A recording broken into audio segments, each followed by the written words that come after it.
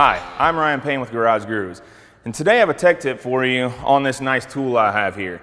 So there's many names that we call this tool. We call it Mueller tool for short, uh, or uh, just a bushing inspection tool, which I don't really like, like, to call this a bushing inspection tool because this tool will allow you uh, to inspect almost every component in the suspension system of a vehicle. Um, this thing actually sits underneath of the wheel. You'll pick the car up, set the wheel down on the tool, whether it be on a flat rack like you see behind me or on the ground. Um, and this tool puts a lot of force on that wheel assembly so you can find looseness in ball joints, bushings, wheel bearings, almost any component in that suspension, uh, we can find looseness with this tool. Um, it's available pretty much anywhere. You can search it up, uh, find it out there online. Uh, but instead of just sitting here talking about it, why don't I get over to the car? I'm going to get this thing installed and I'll let you see for yourself. All right, so we're over here underneath of our 2016 Dodge Journey. Uh, I've got it up on the lift. I've got wheel chocks underneath the rear wheel. Um, it's in park. Um, I've actually got a brake depressor in this one simply because I'm going to show you both directions that we can use these tools in and out as well as the direction of, of travel. Um, so we need to make sure the brakes are locked down so we don't get any movement um, out of the wheels themselves. We want all the force from these tools to be directed into the wheel assembly. So the first thing I'm going to do is I'm going to grab this air jack, I'm going to bring it to a safe spot uh, in a correct lift point to lift this thing up just high enough to get the tools uh, underneath the tires. So it doesn't have, you know, doesn't have to go very high, about two and a half, three inches or so, but we want to focus on getting this tool right in the middle. Uh, and the first test we're going to do, or the first inspection we'll do, is in and out direction of the tires. So we'll do it where I'm going to pull it inside. So I'll go up and down from the inside of the vehicle to put the force in this direction.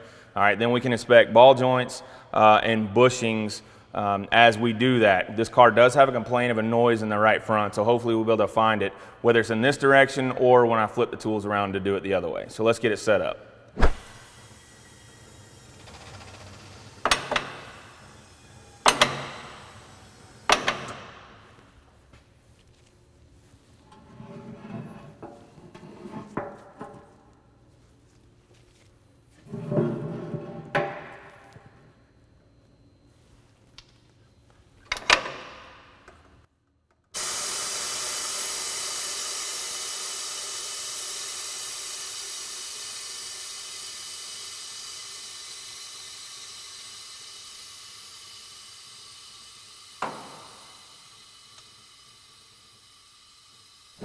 All right, so I've got the tools installed where I want them.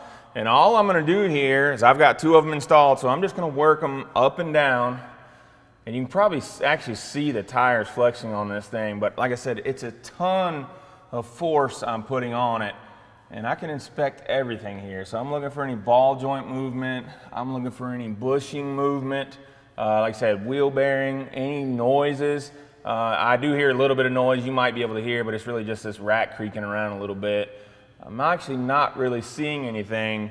So what I'm actually looking at here is I'm looking, uh, and just for the sake of time, I don't want to take a camera and show you every bushing in this vehicle, uh, but this is one I can show you really well with this vertical control arm bushing, uh, and these are known to fail on these vehicles. So I'm looking at this as I work the tool. I'm not seeing any movement there.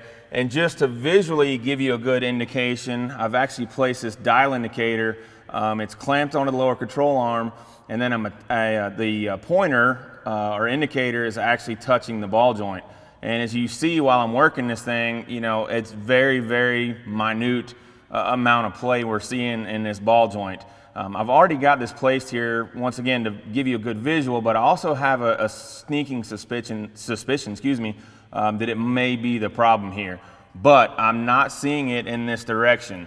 So what I'll actually do here, um, I said I can do it in multiple directions. I will actually, I'm gonna flop these tools around. I'll have to lift it back up, change direction that the tool is sitting to put the force in the direction of movement. Once again, I do have a brake pedal depressor in this vehicle, uh, so we can do that. So let me get these tools swapped around and we'll take another look at it. All right, as you can see, I've got these tools swapped around now. Now, let me go over the setup one more time.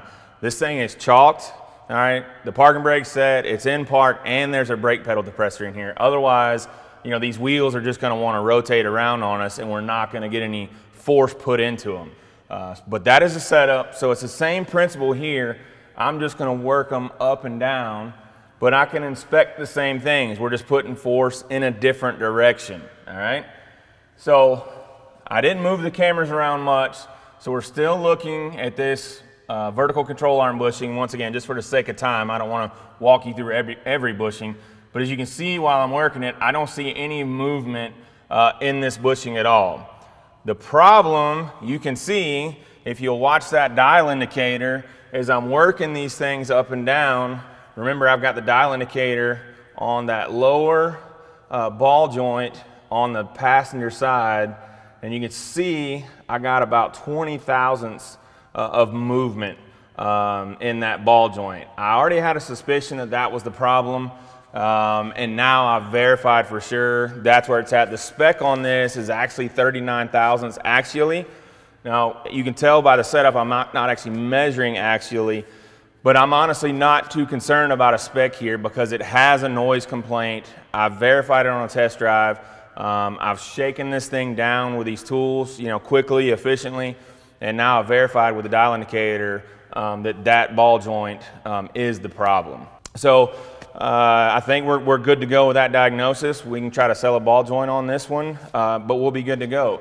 But hopefully you've seen how these tools uh, make your suspension inspection a little bit quicker. Um, nice and easy with one person. We can put a ton of force uh, on these wheels to check bushings and ball joints, wheel bearings um, on this alignment rack or on any type of flat rack. So it just makes it really easy. I hope everybody enjoyed this tech tip. Uh, for more videos like this, hit that subscribe button, smash the thumbs up if you enjoyed it. You can also find more information at garagegurus.tech. I'm Ryan Payne with Garage Gurus. Make it a good one.